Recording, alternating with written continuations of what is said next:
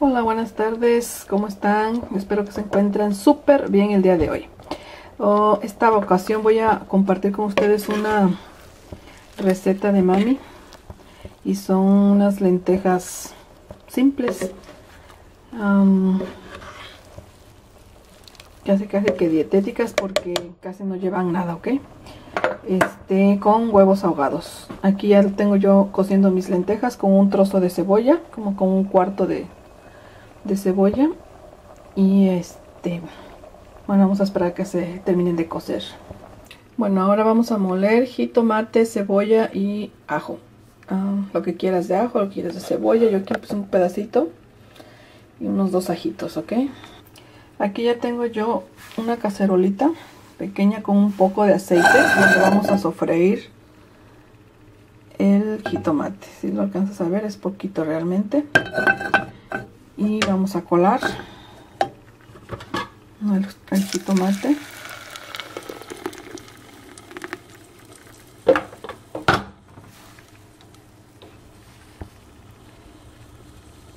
Y vamos a sazonar. Sazonamos con un poco de sal y un poco de pimienta fresca y dejamos que se cosa bien el jitomate, que hierva, que le bajamos la flama, ahorita la tengo flama alta, cuando empiece a hervir le bajamos la flama y dejamos sazonar hasta que saque bien la grasita el jitomate y ya está que uno que ya veas que ya está cocido el, jitomate Ok, después de haber sazonado bien nuestro jitomate, este lo vaciamos a nuestras lentejas que teníamos ya cocidas en otra olla y las dejamos hervir un rato para echarle unos huevos.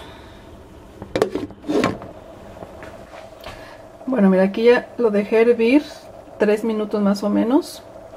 Este, ya ah, en este punto vamos a empezar a agregar los huevos. Yo los huevos casi siempre los primero los saco en un tazón, en un platito para que para estar segura que están bien.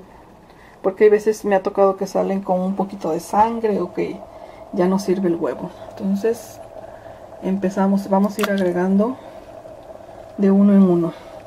Tenemos que esperar más o menos a que empiece a cocer ese y para ir agregando el siguiente. Bueno, y así es como queda nuestra sopa. Aquí están dos huevitos. Y queda bien sabrosa. Mira, esta era nuestra comida allá en casa, ya cuando vivía allá en Córdoba con mi mami. Esta era toda nuestra comida que, que teníamos. Mira, se queda bien cocidito el huevo. Y quedan muy sabrosas. Y claro, aquí lo vamos a acompañar con un poquito de salsa cordobesa. No debe de faltar esta salsa en mi casa.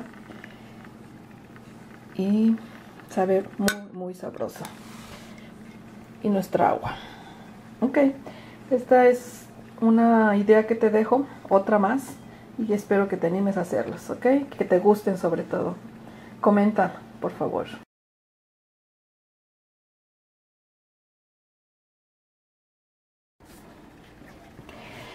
Bueno, en esta ocasión quiero compartirte, quiero compartir contigo una, un agua que me recomendaron mucho, que es diurética. Este, ¿qué le vamos a poner? Pues lleva, en este caso yo le voy a poner dos ramas de apio. Le voy a poner unas tres rebanadas de piña. Ah, más o menos así que no, no estén muy anchas tampoco este, un limón con todo y cáscara, de preferencia sin semilla. Pero, pues si tiene semilla, se la quitamos. Un bonche de perejil. Yo en este caso estoy usando perejil chino porque es el que encontré. Pero de, puedes poner el perejil que quieras, el de México, el que quieras. Un poco de miel. Vamos a ponerle un chorrito de miel. Ok, voy a, a rebanar las, el apio y la piña para incorporarlo a la licuadora. Bueno, ya ah, piqué casi todo, le di una picada casi a todo, ahí está ya todo en la licuadora. Ya le puse un chorrito de miel, yo le agrego agua con un poco de hielo porque sabe más sabrosa así bien fría. y molemos. Pues mira, ya terminé de, de moler y solamente vamos a vaciar en nuestra jarra porque no hay que colar. Esta, esta debe ser así, sin colar. Y sabe riquísima. Te la recomiendo mucho porque a mí, bueno, a mí en lo personal sí me ha ayudado mucho para, para sacar líquidos, por eso es em, diurética, porque es lo que hace que te ayuda a sacar líquidos y sí me, sí me ayuda mucho a mí.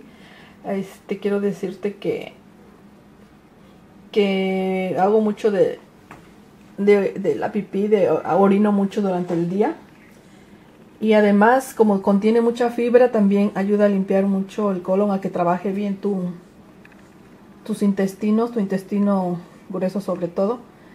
Y pues a mí me ha ayudado también mucho en ese aspecto porque sí yo soy un poco estreñida y sí me ayuda mucho este tipo de agua.